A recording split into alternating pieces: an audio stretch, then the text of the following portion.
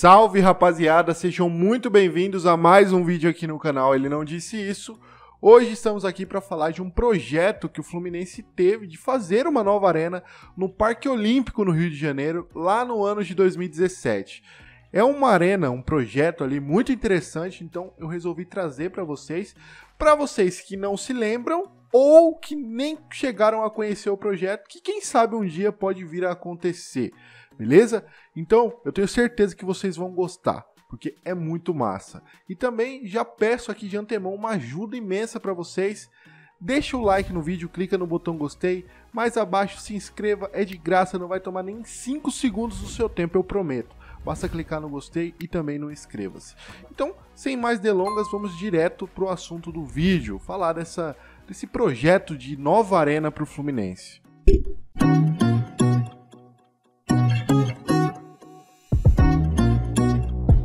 O projeto do Fluminense de construir um novo estádio no Parque Olímpico agradou os tricolores lá em 2017. Logo após os detalhes dos planos da diretoria serem divulgados, o Globoesporte.com na época questionou o torcedor: construir uma casa nova ou reformar as Laranjeiras? E com 57% dos votos, venceu a novidade, uma arena com 22 mil lugares na área mais nobre da Rio 2016, as Olimpíadas o estádio ficaria atrás da Genesi Arena, chamado de Arena Olímpica, no Rio dos Jogos Olímpicos, em uma área de 24 mil metros quadrados. A capacidade, a depender do posicionamento do estádio, variaria de 18 a 22 mil lugares. O custo não passaria dos 100 milhões de reais, afinal, diminuiria com o uso do material do estádio aquático. A ideia era erguer com a ajuda de patrocinadores e ter um estádio para jogos com apelo de público menor e que impulsionasse o plano de sócios.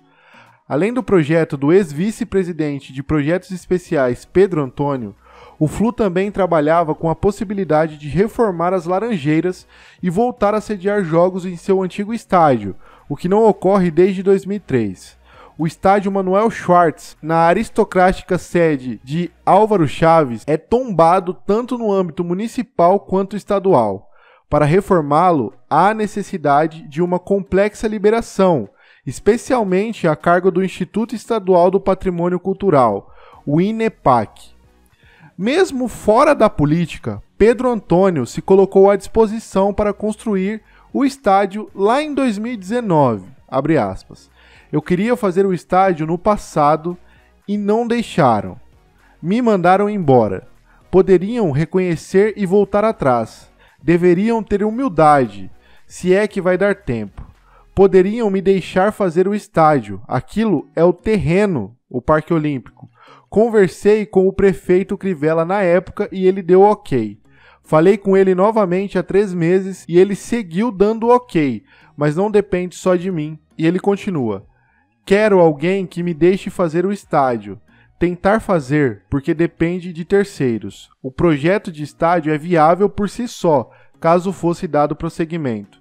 E não precisa do dinheiro do Pedro Antônio emprestado.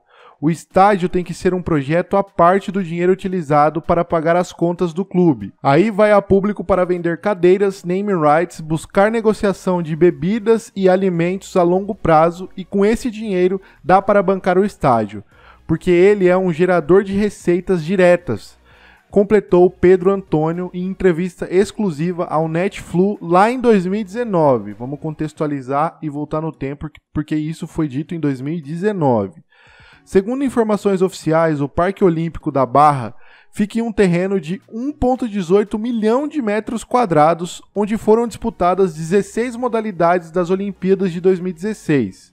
O desenvolvimento do esporte é tido como fundamental para que a região não siga como um gigantesco e bilionário elefante branco. Quando a ideia surgiu, era até interessante, porque daria ali uma razão ao Centro Olímpico, ao Parque Olímpico.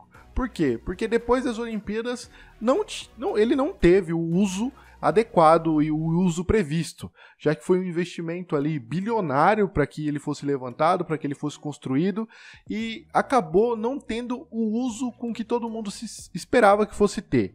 Mas É, isso acontece em todos os lugares do mundo que sediam as Olimpíadas. Vamos deixar isso aqui claro.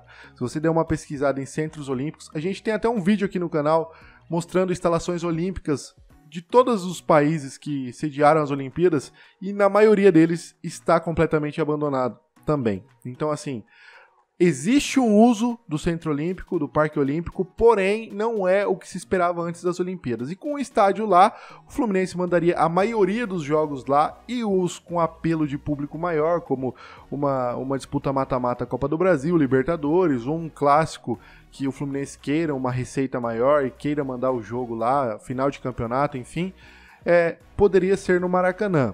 E só que isso acabou não acontecendo. E a gente não sabe se um dia vai acontecer.